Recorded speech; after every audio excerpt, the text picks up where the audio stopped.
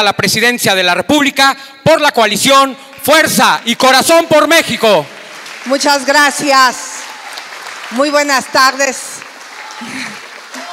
Gracias. Gracias, gracias por estar aquí. Y bueno, a veces hay días de hacer campaña, actos masivos y hay días de escuchar. Y hoy es día de escuchar. Yo hoy los quiero escuchar a ustedes. Sin antes quiero empezar agradeciéndole a Manuel Sierra Muñoz. Gracias, gracias empresario por tu apertura, por invitarnos a tener este diálogo con productores, con empresarios, con ganaderos. Conozco muy bien Tezuitlán, mi querida José. Gracias. Yo sé que es la tierra de tus padres. Aquí, aquí nacieron tus padres. Aquí creciste un rato. Aquí se casaron. Ah, bueno, tú, tú, ya naciste en la Ciudad de México, pero aquí se casaron. Aquí en Tezuitlán yo empecé a trabajar en 1994 en la zona indígena llevando una papilla para niños indígenas que sufrían desnutrición. Yo no era funcionaria federal, yo estaba muy preocupada por la situación de las comunidades indígenas en ese entonces. Yo tenía una fundación eh, para, justamente impulsar a las mujeres y, es una zona y una región eh, preciosa. Yo, siempre, yo siempre lo reconozco, siempre hace un frío que, que da miedo, pero bueno. Este, Miguel Haddad, gracias Miguel. Gracias por, estar aquí. Eh, me queda claro que aquí se concentra una región productora, pero también aquí el tema de la maquila es el tema. Aquí la maquila juega un papel fundamental en el empleo y hay mucha preocupación de los empresarios porque México está dejando de ser competitivo en la maquila. Por un lado dices, qué bueno, qué bueno porque la mano de obra ha subido, ha mejorado, pero entonces los empresarios ya no están viendo a México como un destino de inversión, uno por el tipo de cambio, otro por el costo de la mano de obra, porque efectivamente el costo de la mano de obra de Centroamérica puede ser mucho más barato que México y entonces prefieren irse a invertir a otra región y la pregunta es, entonces, ¿qué vamos a hacer en Tezuitlán? ¿Qué vamos a hacer?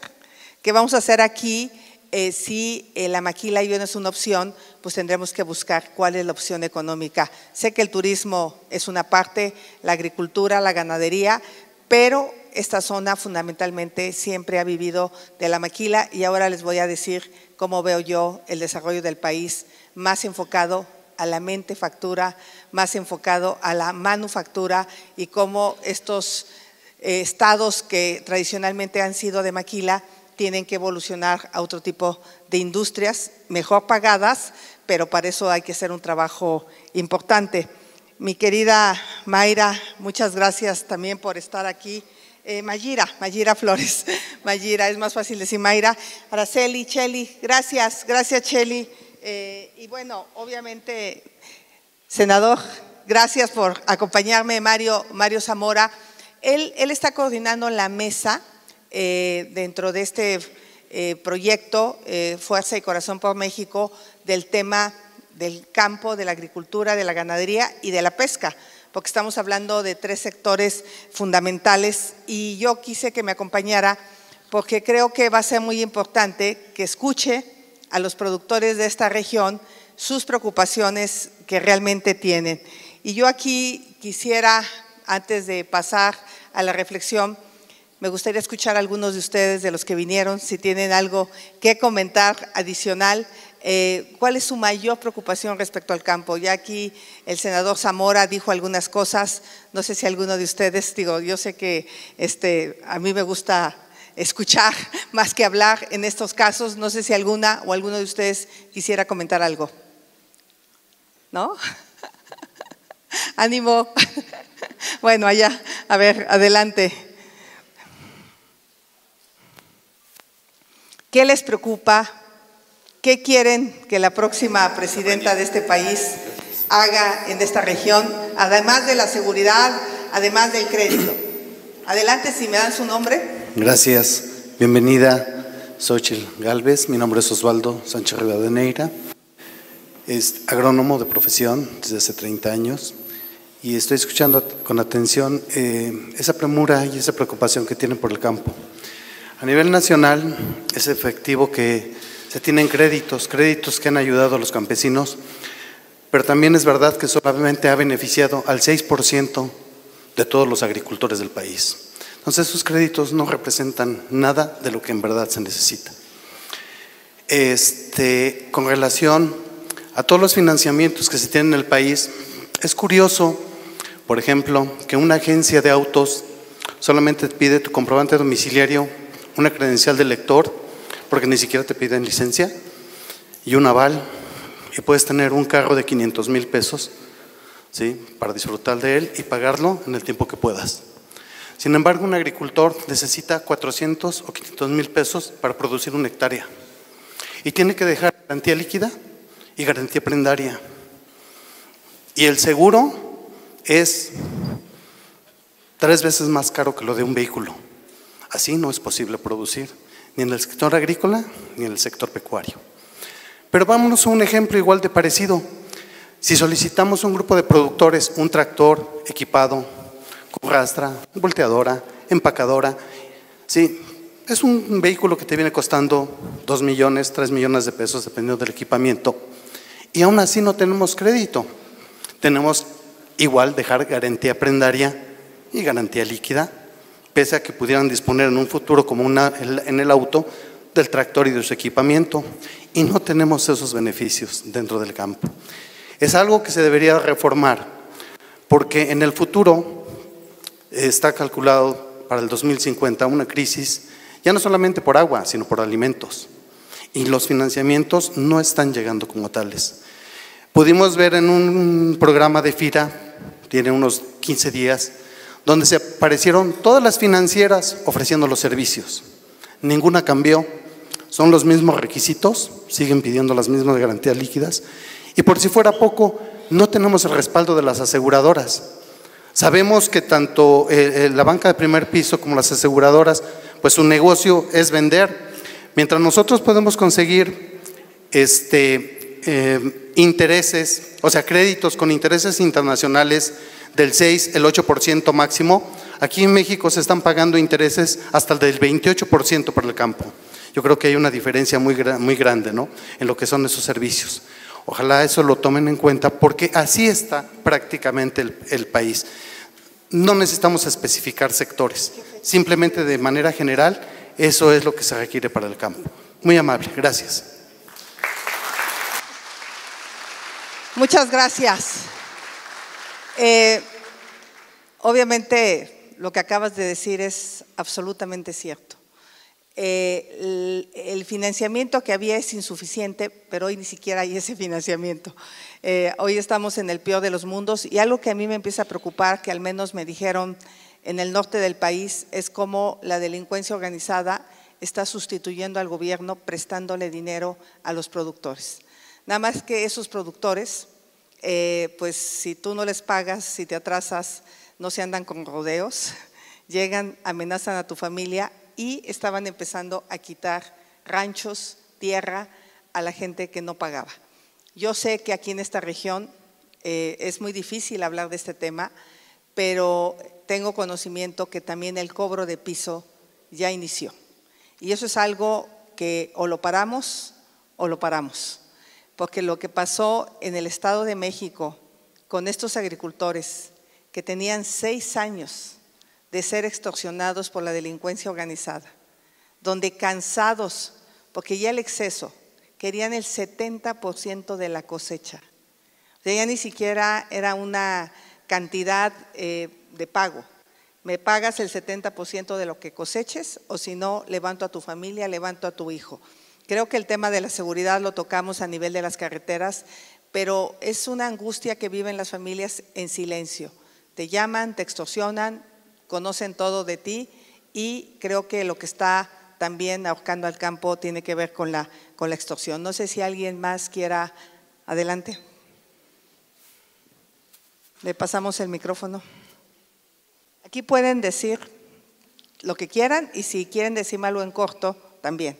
Porque en algunos estados, eh, pues hay algunos comerciantes que me han pedido después de estas reuniones eh, decir, bueno, ya sabes que no me atreví a decírtelo públicamente, por ejemplo, en un estado donde ya la venta de la cerveza y del cigarro está en manos de la delincuencia. y aquellos comerciantes que no le compran a cierto personaje, los amenazan. Eh, cobro en el pollo, cobro en la tortilla, cobro en el pan, y entonces pues eso son de las cosas complicadas. Adelante. Muchas gracias, Ochil. José Luis Brígido Hernández para servirle del municipio de Chutetelco. Este, escuchando los diálogos que hay aquí de, de agropecuarios, este, Chutetelco no es un municipio tanto agropecuario, más bien es de comercio, pero sí existe mucha gente que, que más que nada por, por costumbre o por tradición eh, siembra sus, sus, parcelas, que son pocas, muchas no llegan ni a una hectárea, son pocas sus tierras, y poco a poco han ido, de, han ido dejando de, de cultivar, de producir lo que es la manzana, la pera, eh, la ciruela, lo que es la que se da en Chutetelco, por lo mismo, ¿no? por la, la falta de apoyos. Y yo me recuerdo de, de pequeño que, que, había muchos productores de manzana, de pera, se daba mucho en esta región, no nada más en Chutetelco, aquí en Teciutlán, Tlatlauqui, Zaragoza, toda esa zona, pero muchos han dejado de producir eso, de, de, comercializarlo, porque no hay apoyo para los pequeños productores. O sea, igual los que siembran maíz, que son un, prácticamente para, la, para el consumo familiar, lo han dejado de hacer porque pues todo está muy caro, ¿no? La mano de obra, el, el, este, ¿qué, ¿qué, tipo de apoyos hay, hay para ese tipo de, de, personas? Más que nada que son familias, ¿no? Y en el, en el problema de la seguridad, pues yo creo que es ya a nivel nacional, ¿no? En Chutetelco estamos viviendo un problema muy, muy, muy grande en cuanto a drogadicción. Este, yo creo que se está agravando ya muchísimo, ya es este, algo, algo alarmante de, de, algunos años para acá. Yo creo que también por ahí, este, no sé qué se pudiera hacer, porque sí, este, ya lo vemos ya en las calles este, como, como pan de cada día, ¿no? Ahí qué se podría hacer. Gracias, Xochitl. Gracias, José Luis. Conozco Xutetelco porque de ahí es mi trabajadora del hogar y conocí de un caso de una chica que desapareció hace 13 años, tres años y nunca más volvió a aparecer. Parece que llegó ahí una bandilla de delincuentes que estuvo acusando al pueblo, afortunadamente los detuvieron, pero sí el tema de la venta de droga se ha vuelto un problema y pues yo lo único que les puedo decir es que en mi caso no habrá abrazos para los delincuentes. En mi caso habrá la aplicación de la ley.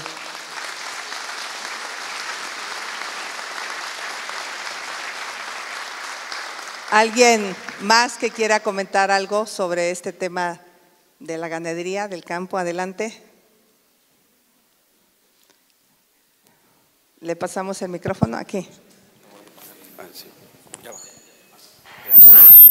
Buenas tardes, bienvenida a, a, esta región de la Perla Serrana. El problema que tenemos nosotros, Amado Martínez, del municipio de Huitamalco, productor de bambú, y iniciamos este cultivo ya en forma hace 20 años y apenas hace dos años que empezó a despuntar el mercado y nos encontramos con un problema serio que están tratando el, el, tratamiento que le dan para el aprovechamiento y el transporte del bambú como si fuesen maderas preciosas. Entonces, tenemos ese problema, este, los que en algún momento tenemos los registros de nuestras plantaciones, no tenemos el problema, pero en esta región hay alrededor de unas 500 hectáreas de bambú que no son compactas, son de pequeños productores que tienen 20 o 30 cepas en sus, en sus parcelas y que no se puede comercializar su bambú porque necesitan los, todos los registros de la, de, este, de la CONAFOR, de Semarnap, para poder aprovechar y luego para poder transportarlo, ¿verdad? Ya se está trabajando este, con Sinaloa, con Baja California Norte y Sur, una, en Jalisco también ya se están mandando tutores que, se, que lo están utilizando en la siembra de uva, en la siembra de tomate, en la siembra de berries. Son diferentes este, características, pero sí, sí es importante que nos apoyen ustedes en, en que haya flexibilidad para el aprovechamiento y el transporte para poder apoyar a los pequeños productores y comercializarles su producto. Muchas gracias. Muchas gracias, Armando. Mire, qué importante es poder llegar y escuchar, porque yo no me hubiera imaginado que el bambú lo estuvieran considerando eh, madera preciosa es una alternativa muy interesante, sostenible, justamente para dejar de usar madera. Es, un, eh, es muy durable, pues tiene una fortaleza del bambú interesante para la industria de la construcción. Eh, yo lo que podría sugerir aquí a nuestros senadores, que además hay tres, tratar de investigar un poco más el tema y quizá presentar un punto de acuerdo en el Senado y hablar con la Semarnat para que pues le pongan atención a un tema pues que no estamos hablando ni de deforestación porque lo están produciendo y tiene todo el derecho económico de estar. Digo, me llama la atención que la Semarnat deja que tumben 10 millones de árboles para el tren Maya. Curiosamente que hoy se, supuestamente se está inaugurando un tramo, faltan 1.200 kilómetros, pero bueno, espero que termine el otro. Y de repente castigue a un productor que tiene unos cuantos plantaciones de bambú, eh, creo que es totalmente inaceptable. Entonces vamos a, vamos a entrar en contacto con usted, si le parece, para revisar el detalle. Y esa es una alternativa interesante para dejar de usar madera y para poder aprovecharlo de una manera más eficiente. ¿Alguna otra persona? Allá, adelante. ¿Le ayudamos? sí, sí, listo. Señora Xochitl Álvarez, bienvenida a esto que es la perla de la sierra, originalmente nombrado Tepetzintlan. Las, la problemática principal del campo efectivamente es la inseguridad, pero esto viene a raíz no únicamente de gente que se organiza para hacer el mal al pueblo, sino que viene de gente ambiciosa, que se ha tomado la libertad de ejercer como caciques para el pueblo.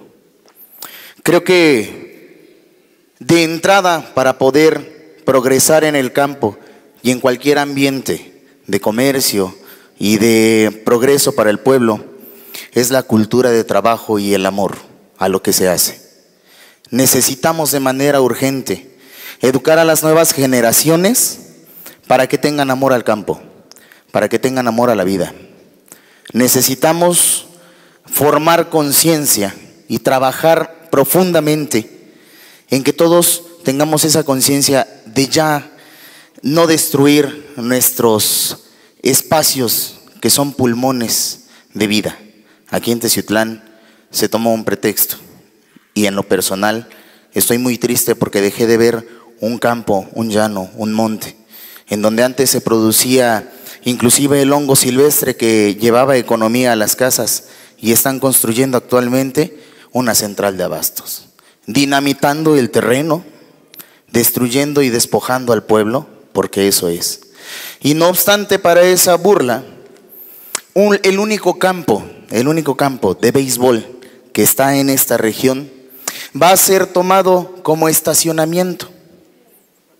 Le están restando importancia al deporte. No queremos más caciques dentro del pueblo.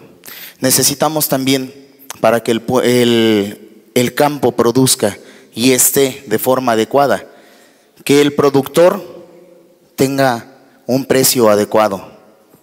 Porque no aquí en Teciutlán, en la zona baja donde llegan a producir plátano, he visto tristemente que les pagan el kilo en 50 centavos. Y el productor prefiere tirarlo, abandonarlo. ¿Cuánto trabajo les lleva a crecer a una planta para que les paguen 50 centavitos por un kilo? Se deja perder. Otro tema para que el campo produzca y tenga mejor desarrollo, pienso, que es tener la facilidad de tránsito de toda esta persona, que tengan la cercanía al transporte, que puedan mover sus productos en vías adecuadas, que no nos hagan lo que ya nos hicieron varias veces, que vienen, avientan un poco de chapopote, medio tapan dos, tres hoyitos, dura para tres fotografías y después vienen los problemas porque los vehículos del productor se echan a perder. Esa es la manera en que pueden apoyar al, al campo, teniendo buena comunicación, teniendo buenos precios y generando amor a nuestra tierra, a nuestro campo y a lo que México produce. Gracias. Vianey Bartolo Cruz. Vianey Bartolo Cruz. Miguel Ángel. Ismael.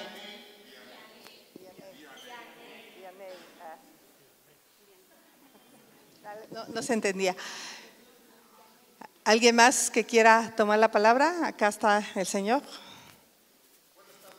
Le voy a pasar un micrófono para que lo escuchen. Ya está prendido, caballero. Muy buenas tardes a todos. Miren, en nuestra región de Teciutlán y toda la sierra noro- nororiental del estado de Puebla, es una triste pena de que la ganadería se nos está quedando abajo. Nos vienen a reemplazar los cítricos y nos vienen a reemplazar en esta parte la papa. ¿Por qué? Porque al campesino le está dando mejor cosecha pero la ganadería en esta región, en la parte baja, ya hay cítricos y no tienen el comercio, no tienen el valor que debería tener. En esta parte, la papa, pues sí vale, pero lo más penoso y lo más triste, ¿por qué dejamos muchos la ganadería? Los que somos ganaderos desde niños, pues la vamos a seguir conservando de abuelos y eso, pero las nuevas generaciones ya no van a ser ganaderos y México necesita productos que es carne. que es carne? Necesitamos alimento. Entonces, a mí sí me gustaría que en el próximo gobierno apoyen al campo, en el sector de la ganadería, porque nuestro no tenemos, quitó Pro- Progan, quitó muchos apoyos del campo, Procampo, etcétera, etcétera. Poco, mucho, pero al ganadero sí le ayudaba el Progan. Y otro tema que sí me gustaría recargar en esta, en esta plática, que es sobre el aguacate Hass. En esta región estamos cultivando mucho aguacate Hass también, pero se nos ponen muchas trabas para el mercado y no tienen la menor calidad que Michoacán.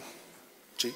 O sea, ahí es donde sí nos gustaría que nos apoyen a los que producen aguacate, porque pues es, un, es un- una fruta que se da muy bien en nuestra región y tenemos noventa y tantas, ciento, entre Tlatlauqui, Zaragoza, Teciutlán, Zacapuazla, de haber más o menos unas 800 hectáreas de aguacate sembradas.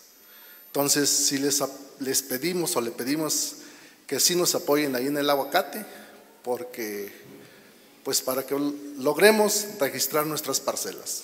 Gracias. Muchas gracias. ¿Su, su nombre? Filiberto Vargas Ramírez para servirle. Su, no le escuchar. Filiberto Vargas Ramírez.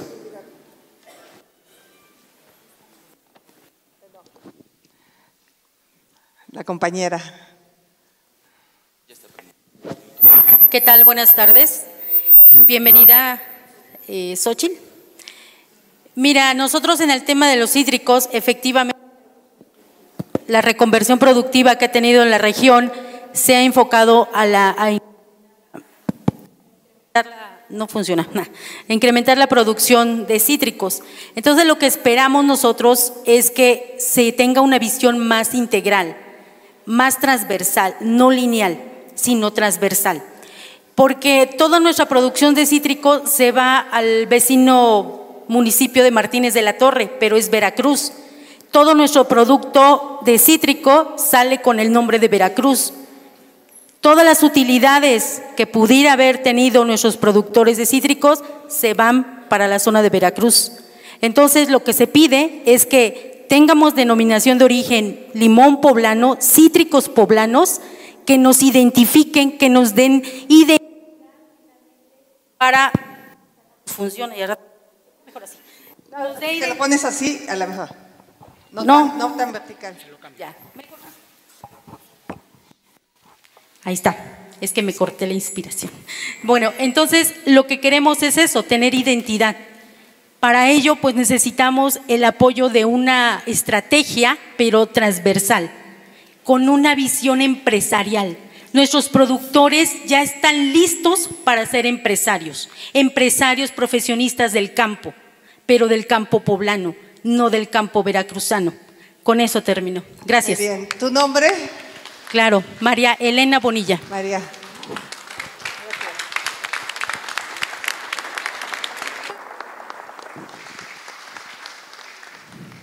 ¿Alguien más que quiera hablar? Allá el compañero. Hasta la parte de atrás.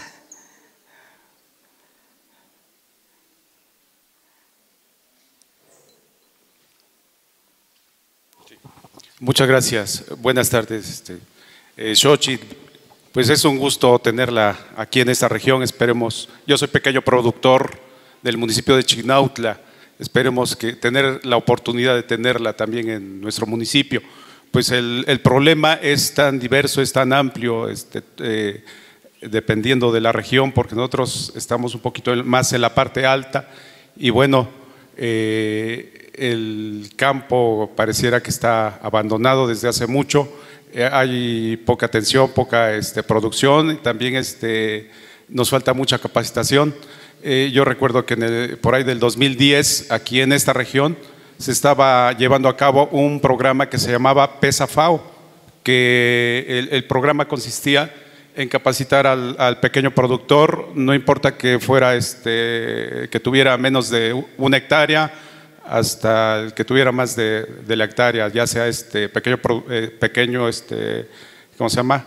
Eh, ya, sea ejidatario o, pequeño propietario. Entonces, este, yo creo que la, la, este, la atención o el, eh, el programa o los programas que necesitamos es para todos, no solamente ser seleccionados para unos cuantos. Entonces, esa es la, eh, pues la, idea, la propuesta que, que, yo tengo para que este, bueno, se, se, tome en consideración, se vea qué programas han funcionado y a lo mejor este, rescatarlos. Muchas gracias. Muchas gracias. Bueno, pues básicamente es la problemática muy específica, a diferencia de otros estados donde he estado, ustedes tienen un gran, una gran ventaja, tienen agua. Y eso es una maravilla. No saben lo que ha sido la brutal sequía que ha azotado al país. Siempre que llego aquí me encanta ver la neblina, entonces la humedad es maravillosa. Aquí llueve de manera permanente, ya sea porque entran los nortes por Veracruz, por lo que sea, pero siempre tienen agua. Eh, como saben, hay un fenómeno mundial que se llama cambio climático. De hecho, acaba de, terminar la COP28 en Dubái, donde, bueno, aparentemente los países están llegando al acuerdo que hay que empezar a dejar los combustibles fósiles, porque son los combustibles fósiles los que están generando un calentamiento global. Si no lo saben, es la primera vez en la historia que se tiene registro que pega un huracán categoría 5 en el Pacífico. Eso no tiene antecedente. Y eso va a suceder porque hay un calentamiento del agua del mar. Y entonces la velocidad con la que los vientos crecen, pues no le permitió tener las horas suficientes. Digo, 12 horas fue poco, para cuando generalmente ves venir un huracán y te da tiempo de actuar. Y eso, eso va a pasar más seguido. Y la sequía que hay en el norte del país, pues ya lleva tres años. Tres años, eh, por ejemplo, en Zacatecas solo pudieron sembrar el 20% del frijol. Eh, en, eh, vengo de San Luis Potosí, donde los cañeros solo van a recuperar el 50% de la caña de azúcar. Estuve en Chihuahua, donde prácticamente se quedaron sin riego porque pues no, no hubo lluvia, tampoco en Estados Unidos, y ahí comparten el agua de la presa de la boquilla. Tuvo todo un conflicto ahí, inclusive se enfrentaron los ejidatarios contra la Guardia Nacional para defender su agua. Entonces, es una maravilla que aquí haya agua. ¿Qué es lo que veo que tenemos que hacer en esta región? pues tenemos que organizarnos, tenemos que planear. Hay que planear cuánto de ganadería, cuánto de bambú, cuánto de aguacate, cuánto de limón, pues para que haya de alguna manera una coordinación. Porque, ¿qué es lo que pasó con las berries? Por lo que tengo entendido, todo el mundo empezó a sembrar berries, todos, porque era un gran negocio y se cayó el precio. Y entonces ahora la berry no vale, eh, porque pues tiene que haber una estrategia en un país de decir, este, sembremos la capacidad que tengamos en el mercado, porque si no nos empezamos a competir. Yo lo primero que quisiera decirles es que yo veo con mucha preocupación el abandono de este gobierno al campo, pero la veo con una preocupación enorme. Eh, hoy importamos más arroz, importamos más frijol, importamos más maíz, importamos más trigo. Un país que no es capaz de generar su comida, pues es un país que tiene una dependencia en el exterior tremenda. Peleamos mucho que no queremos importar gasolina, pero importamos comida. ¿Y saben qué? Importamos carne de muy mala calidad, porque nuestra carne no las pelea Estados Unidos, porque es una carne de muy buena calidad. Importamos granos de muy mala calidad. Lo que le estamos dando de comer a los mexicanos no es de la mejor calidad. En cambio, nuestros mejores productos los estamos mandando hacia los Estados Unidos. Todo eso suena muy bien eh, aparentemente. El problema es que con el bajo costo o el dólar tan barato, pues a algunos agricultores no les está empezando a convenir la exportación porque los insumos son caros, los fertilizantes son caros. Por un lado, yo veo un campo de productores como mi querido Mario Zamora, que tiene unos ranchos preciosos, que produce los mejores mangos que se puedan imaginar, con una gran tecnología. Pero por otro lado veo a productores sociales prácticamente abandonados. Pero estos productores, grandes productores, tienen dos riesgos, que es lo que yo me he encontrado. Uno es la seguridad. Han empezado a amenazar a los productores agrícolas diciéndoles a los aguacateros de Michoacán, a los limoneros, a los productores de papaya en Colima, y me decían los productores de papaya en Colima, nos dan ganas de irnos, porque vivimos con la amenaza del narcotráfico de si les, no les pagamos, pues van a matar a alguien de nuestra familia. Entonces, el primer tema que tenemos que resolver en este país es la seguridad a los productores, a los agricultores, a que dejen de extorsionarlos y a dejen de cobrarles piso. Y el, el segundo problema que tenemos para estos productores que son bastante autosuficientes, acabo de estar en un rancho que me pareció espectacular, Las Carmelitas, en Colima, donde ellos usaban un fertilizante para matar los bichos de, la sandía. Pero este fertilizante se dejó de usar porque dañaba la capa de ozono. Entonces llegaron al descubrimiento que tenían que ser un injerto, un injerto entre calabaza y sandía. Entonces usan la raíz de la calabaza, que es una raíz súper fuerte, que no, eh, eh, no se daña con facilidad o no la atacan los bichos, y trabajan puras mujeres, porque las mujeres tienen una expertise para hacer los injertos únicos y tienen una mano para estarle cortando los brotes, porque tienen que estarle quitando la calabaza para dejar crecer la sandía. Bueno, finalmente me comí una sandía eh, ya en el campo y tú dices, México tiene la capacidad de hacer esa agricultura. O sea, si aquí pudiéramos traer tecnología, certificación técnica, capacitación, y cada pequeño productor, pues a lo mejor produce 10 toneladas de sandía y el otro 10 y el otro 10 y el otro 10, pues a lo mejor entre todos se junta y a lo mejor en algún lugar eh, se producen las plantas, ¿no? porque se requiere mucha tecnología y ya cada quien se las lleva a sus campos. No sé, no sé si aquí eso funcione, pero sí me llamó la atención la capacidad que tenemos como país cuando nos proponemos hacer algo bien hecho. Entonces tenemos un campo muy bien hecho en ciertas zonas del país que lo están haciendo extraordinariamente bien y tenemos otros agricultores que la están pasando bastante mal. ¿Qué está pasando con los productores sociales? Que no tienen apoyos. Este gobierno quitó 19, 19 programas para el campo, no solo el PROGAN, eh, eh, o sea, todo aquel que tiene más de 5 hectáreas no tiene procampo. Y en Estados Unidos sí financian a sus productores de 5, de 10, de 20, de 100, de 200 hectáreas. Allá no importa cuántas hectáreas tienes, simplemente el gobierno subsidia a sus agricultores porque quiere competir en el mercado internacional. Eh, lo que está pasando ahorita en México es muy preocupante. Se enteraron de los melones de Sonora, que aparentemente eh, tienen un brote de salmonelosis en Estados Unidos y argumentan que murieron personas. Si nos cierran la frontera para exportar, pues vamos a estar en un problema con los cítricos, con muchos otros alimentos. Y saben que este problema lo tuvimos en 2017, pero en el 2017 había Senacica y en el 2017 eh, Senacica tenía cerca de 7 mil millones de pesos de presupuesto y hacía un trabajo en el campo extraordinario para prevenir cualquier tipo de eh, pues, mosca del Mediterráneo, bactocera. Me decían ahora que estuve en Colima que les preocupa mucho que se ha descuidado este tema y que el, puerto pues es una entrada de muchos de estos eh, eh, bichos que pueden atacar nuestro campo mexicano.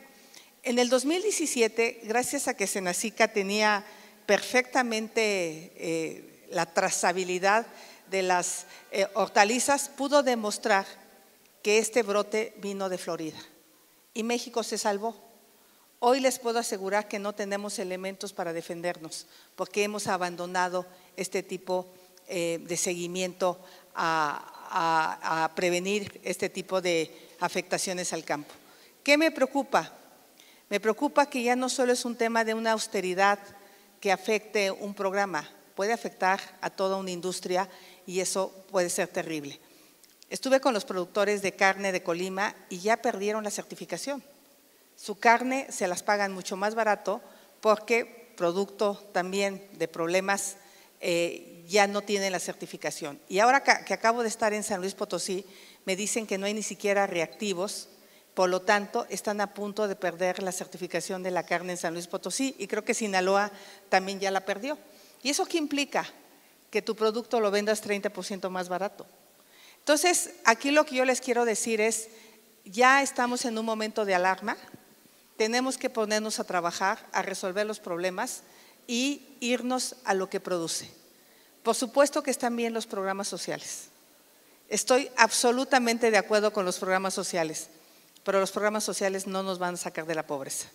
Tenemos que apostarle también a lo que produce, a la industria de la maquila, a la industria del campo, a, la producción de bambú, a la producción de aguacate, porque ahí es donde realmente las familias salen adelante. Entonces yo le he pedido a Mario que venga conmigo a esta región porque queremos dentro del plan de gobierno hacer un plan específico para esta región de Puebla, Veracruz eh, y poderles presentar una propuesta creíble, concreta, de cómo vamos a responder a las demandas que tienen en materia de ganadería, en materia de la producción de aguacate, cítricos y todo aquello que en esta región se produce.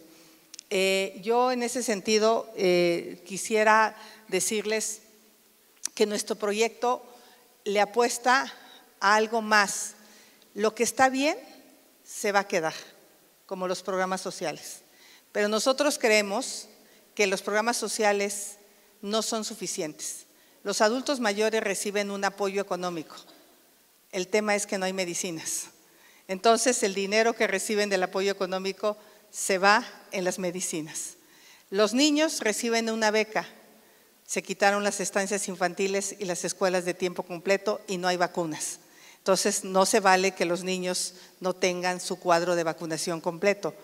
Los jóvenes reciben un apoyo económico, una beca temporal de 12 meses.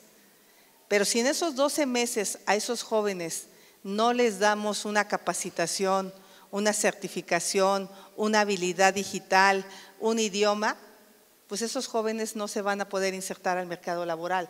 Y es ahí donde yo también le voy a pedir a Ildefonso Guajardo que venga a esta zona para que veamos qué vamos a hacer con la industria de la maquila. ¿Cuál es el siguiente paso para Tezuitlán en el tema de la maquila? porque tengo la impresión, primero hay mucha maquila debajo del agua que no pagan eh, la seguridad social, pero la que sí lo hace está perdiendo competitividad. Entonces aquí tenemos que hablar del campo y tenemos que hablar de la parte de la industria. Tengo la impresión eh, que tendríamos que trabajar muchísimo para ver si aquí puede haber cadenas de suministro eh, hacia las autopartes, hacia la industria automotriz, eh, con lo que está haciendo Puebla, que se quedó un poco atorado, pero que yo espero que ahora que tengamos un gobernador con visión de futuro como el que tuvimos, eh, mi querido Rafa, yo le reconozco la construcción de ese hospital que está a la entrada de Teciutlán, que durante muchos años estuvo abandonado y que sí le dio un cambio al sector industrial aquí en Puebla, pues tendríamos que buscar qué otras opciones hay para esta región para que pueda venir inversión y empleo mejor pagado. Nosotros creemos que México no va bien, nos encantaría que fuera bien, no, no nos da gusto ver la inseguridad que hay, pero 47 mil personas desaparecidas y 170 mil personas asesinadas no es un buen resultado en materia de seguridad. Nos preocupa muchísimo el tema de la salud. Todos vimos los resultados de la educación, retrocedimos 10 años en educación en este sexenio y 20 años en matemáticas y de seguir en este camino, pues lo que más valoramos nosotros pues es la educación. Yo, realmente creo, y aquí está mi querida Josefina, que fue secretaria de Educación, uno de los errores que cometimos, eh, eh, José, fue haber quitado el Instituto Nacional de Evaluación de la Educación, porque lo que no evalúas no lo mejoras. O sea, si un atleta no midiera sus tiempos para una carrera, pues no podría mejorar. Y en la educación se tiene que evaluar, no para eh, castigar a los maestros, por supuesto que no, pero sí para ver qué habilidades requieren los maestros para mejorar la educación de, los niños. Eso fue un tema, tendremos que retomarlo en un futuro. El uso de tecnología es fundamental en la educación y por supuesto que también el tema del campo para nosotros es clave. Nosotros sí creemos que tenemos que hacer una nueva estrategia eh, de producción. Si bien es cierto en el pasado a lo mejor nos hizo todo bien, hay que revisar qué programas sí servían, qué programas sí llegaban, qué estrategias sí funcionaban y construir estrategias realmente eficientes. Aquí tenemos dos caminos. Uno es claudicar, agacharse, es ceder, es obedecer o presentar o ir a un proyecto con una visión de futuro. Su servidora representa ese proyecto ese proyecto que le apuesta sí a los más pobres, también para que salgan de la pobreza. Yo quiero que los pobres salgan de la pobreza. Primero los pobres para salir de la pobreza. Eh, ¿Y qué te saca de la pobreza? ¿O cuál es mi experiencia personal? Mi experiencia personal fue la educación. Gracias a tres semestres becada en la Facultad de Ingeniería, donde aprendí programación, yo pasé de ganar 2.500 pesos de telefonista a 50 mil pesos como programadora. La educación es la clave y las oportunidades de empleo. Necesitamos generar empleo. México está ante su mejor oportunidad en su historia. Oigan lo que les digo. En muchas décadas no se va a volver a presentar esta oportunidad de la relocalización de empresas de China, de Asia hacia México. Si no la aprovechamos por no tener una visión de futuro, estaremos dejando ir la mejor oportunidad para nuestros niños y para nuestros jóvenes. Me interesa mucho fortalecer esa clase media que se levanta temprano, que lucha, que trabaja, que se esfuerza, que estudia, que, que da todo para salir a México. Yo digo que ellos quieren hacer el segundo piso de su cuarta transformación. Nosotros queremos que la gente haga el segundo piso de su casa. Nosotros queremos que la gente salga adelante a través de la cultura del trabajo, del esfuerzo. Y eso se logra con oportunidades. Eso se logra poniendo el dinero donde se debe de poner. ¿Saben dónde está el dinero? El dinero está en tres proyectos. Ojalá funcionaran. Uno de ellos es el tren Maya que hoy se inaugura un tramo que iba a costar 120 mil millones y está costando 500 mil millones. Ahí está el dinero. Otro está en la refinería de Dos Bocas, que ya fue inaugurada hace año y medio y sigue sin producir un solo barril de petróleo, un solo barril de gasolina, que iba a costar 160 mil millones y hoy lleva gastados 400 mil millones de pesos. Ahí están los recursos del campo, ahí están los recursos de las medicinas, ahí están los recursos de los tratamientos contra el cáncer, ahí están los recursos que se requieren para la seguridad pública. Tengan la certeza que para mí no habrá otra prioridad más importante para empezar que la seguridad de este país. Basta que las mujeres tengan miedo de salir, basta que ustedes tengan miedo que sus hijos salgan por la noche, Basta que ustedes tengan miedo de ir a otro pueblo a ciertas horas porque temen no regresar a sus casas. Necesitamos regresarle la paz y la tranquilidad a los mexicanos. Basta de dividir al país. Basta de apostarle al odio. Necesitamos trabajar unidos como país y lo vamos a lograr. Yo les agradezco muchísimo, mi querida Nadia, y a todos los que están aquí, la oportunidad que me dan de platicar, de dialogar con ustedes y decirles, aquí estoy. Yo seré una mujer que siempre escuche. Jamás nombraría una ministra de la Corte por mis pistolas, por dedazo. Eso es cuando se acaba el diálogo. Esta incapacidad del presidente de escuchar a la oposición y de imponer su voluntad no le viene bien al país. Al país le viene bien la división de poderes. Al país le viene bien la democracia y las libertades. Luchemos por esa democracia y por esas libertades. No se trata de mí, se trata de ustedes, se trata de sus familias, se trata de sus hijos. Vamos.